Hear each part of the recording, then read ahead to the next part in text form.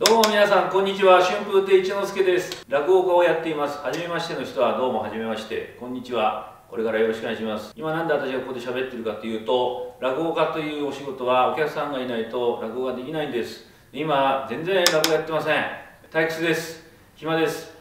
でですね、皆さんご存知ですか、上野の鈴本演芸場という寄席がありますね、あそこで私は4月の21日から30日まで夜の部の鳥を務める予定だったんですけども、もう都内の寄席が全部お休みになってますんで、その鳥を務めることはできなくなりました。悔しいですから、なんか考えてやろうかなと思ったんで、決めました。いいですか ?4 月の21日から30日まで、鈴本演芸場の鳥を取るはずだった春風亭一之輔がおそらく上がるはずであった8時10分から9時ぐらいまで生配信で YouTube で落語をやろうと思います。10日間、えー、やり続けます。ね、来る予定だった人は必ず見てください。行きたかったけど行けないんだよっていう人はここで見る機会ですから。よかったらあの YouTube で聞いてください。ネタは毎日買います。10日間生でやりますから時事ネタの枕も入ります。いろんなことをやろうと思ってます。お金がどれだけ入るかよく分かりませんけどとりあえずやるだけやってみようとそういう YouTube でございます。いいですか？もう一回言いますよ。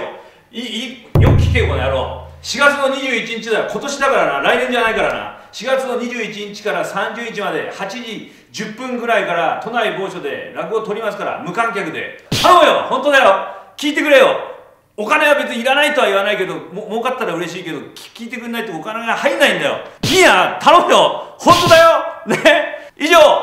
春風亭一之輔からのあのたってのお願いでした。よかったら4月21日、えー、仮の鈴本演芸場の講座で会いましょう。お客さんは入れませんけどあよかったら見てください。頑張ります。